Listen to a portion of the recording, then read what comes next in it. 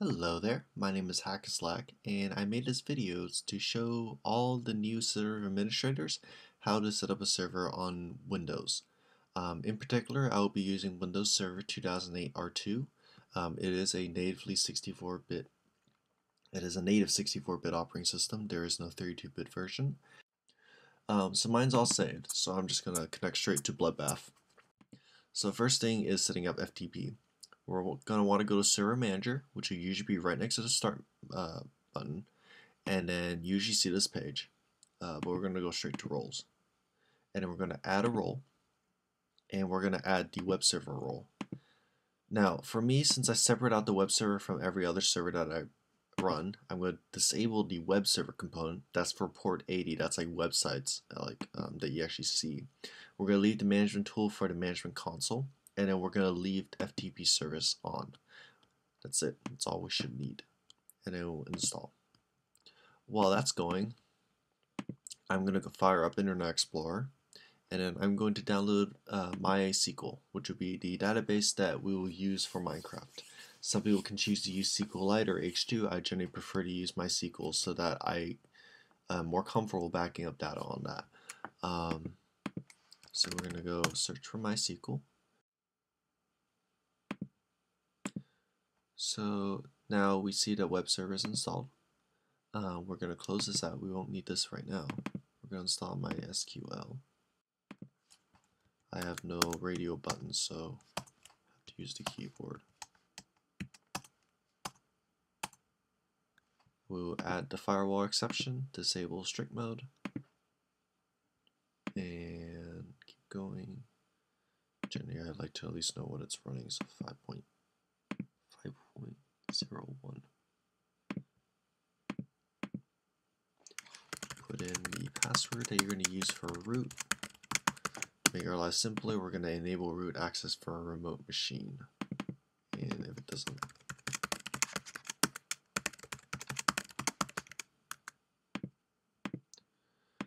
Okay, so now we're going to go here, go to the firewall. I have some rules in there already, I'll just remove them. Okay, so we're going to say new rule. We're going to allow a port, and we're going to allow specific local port. Now this is debatable, but I'm going to do this because I want to be able to access it from elsewhere. So this will be for MySQL. And then we're going to add another rule, predefined, for FTP server. We want to check passive and traffic in. Next, allow and that should be it. And we're also going to want to find a rule for Minecraft. So we're going to select Minecraft. Wait, I'm sorry, not there. 25565 is the Minecraft port. Um, let's see. If you use Dynmap, you want to open up port 8123 as well. And if you use any wrapper that requires uh, port 8080 open, you want to open up here as well. That will be for things like MCMyAdmin. So say next, allow connection and we'll call it Minecraft. Okay, so now that MySQL is done, finish. Now we want to configure the FTP service. So first thing we want to do, we want to go to Control Panel, User Accounts. Uh, actually, add or remove users. This is the portion where we create a limited account to run our server so that we don't run it as an administrator. That's it create a password, create use a password that is different from your administrator account. Um, chances are, if you need help running your server, you'll be giving this password to some other admin that hopefully you trust that will help you run your server when you're asleep or at work or at school. Alright, so we're going to go to C, Users, Minecraft, Desktop. We actually already have that, so we'll delete that. But anyways, we're going to create a new folder for a server. This is the Bloodbath server, so I'll create that for Bloodbath.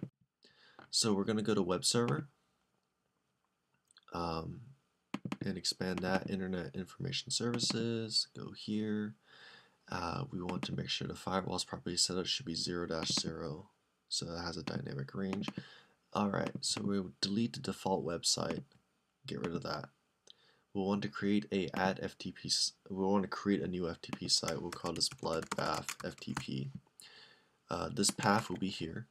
So on Minecraft Desktop Bloodbath, we're not going to bind to anything. We're not going to set up any hosts, uh, vhost. You can do that later on if you feel like you need to. Um, we're going to allow it to access to a spec specified user. We're going to allow Minecraft read and write access uh, with basic authentication. Finish. Okay, that should be it for that. Um, so if we explore this, we should be on Bloodbath. Yep, we are. So that should be good to go. On a note of FTP, there is two extra commands you need to run. Those would be in the description. Um, basically, Server 2008's default rules for firewalls don't work too well. So we're going to have to go to Command Prompt, right click it, run as administrator, paste, enter, and then run the second one. This will restart the FTP service. Okay, so that's all taken care of. Well, finally, we'll need to install the Java JDK. So Java 1.6 JDK. Just install the default, finish. We can delete these two, we don't need these installers anymore. Users the ability to use remote desktop. Select users, add Minecraft. My bad, guys. Anyways, close, close. Alright, so bloodbath.hackslack.com, Minecraft, and I forgot I changed the password to connect.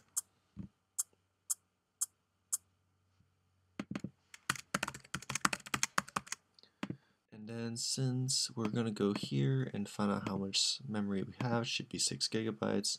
Just to be safe, I'm going to give it 4 gigabytes. Um, so up here we'll give 4096 and 4096.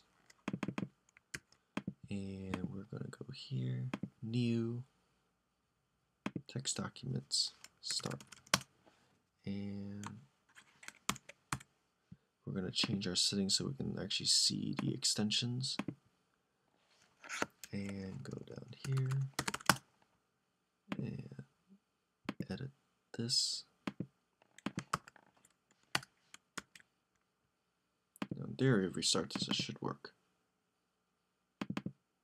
Yep. There we go. Bukkit 670 Jenkins. Yay. MC 1.4. So we're going to do stop. Oops. So, MySQL Workbench. This is a tool you guys really should get. It's very useful. Um, Google it, download it, use it. Um, on Windows, it actually looks the same, so it's okay. We're going to do new server instance bloodbath.hackslack.com. And since I'm a bad admin, I'm going to store the password. And continue. And forever allow. Now earlier I opened up the ports for those and also we're not going to do any kind of remote management finish. The reason we're doing this is because we need to add a user for Minecraft. So I'm going to go under users, we're going to add an account. And for this one I'm just going to call Bloodbath.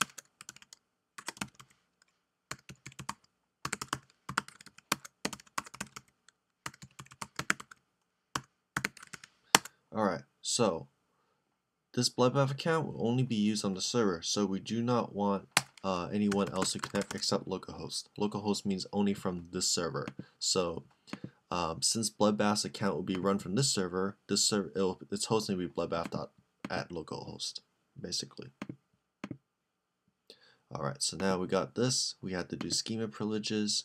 We're going to do bloodbath. We actually should create a schema real quick. So we're going to do new, close that select here. And then we're going to create a schema. Schema is a database. So by default we had the database server running which is MySQL but we don't actually have a database. And we only need one. Uh, most plugins will automatically put it in as um, as um, Minecraft. So we'll just go about it with uh, Minecraft as a schema. So create schema leave everything else as default, just do Minecraft, apply, apply, close, close. That's it. Now we got schema. So back to the configuration. Schema privileges limit uh, accounts to certain schemas.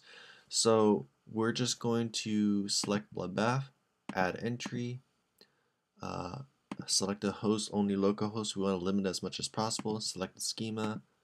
Uh, what the heck?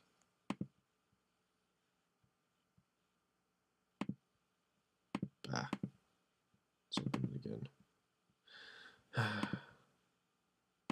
Talk about a cock block. Schema, bloodbath, add entry, host, local host. Select the schema, Minecraft. Okay, there. Um,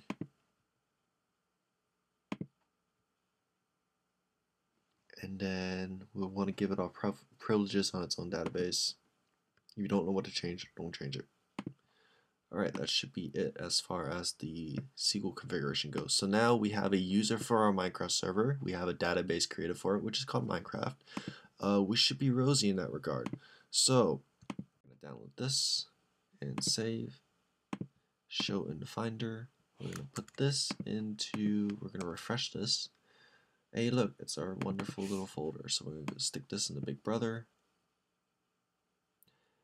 And then if we restart this, it'll probably throw a bunch of hissy fit errors about um, not having any configuration files. Okay, so we're gonna wait. It's downloading all its little um, libraries to help it connect to databases. I think by default it uses H2, but for the purpose of demonstration, we're gonna use MySQL. Now, obviously, you have a lot more plugins than this, but this is just to show you how to get the database part working. So we're gonna do we're going to stop this again. This is why we have FTP access. Anyways, scratch that. I'm dumb. If you are using Windows, get Notepad++ on your local computer. So localhost, um, I'm going to do secret bloodbath pass. Great password, huh? Minecraft and localhost. We want to select a username as um, bloodbath. That's the settings we entered in earlier. We're going to do type MySQL. Uh, we'll leave everything else stock since it's not really an introduction on how to configure Bloodbath. So now we're going to go back here and run this again.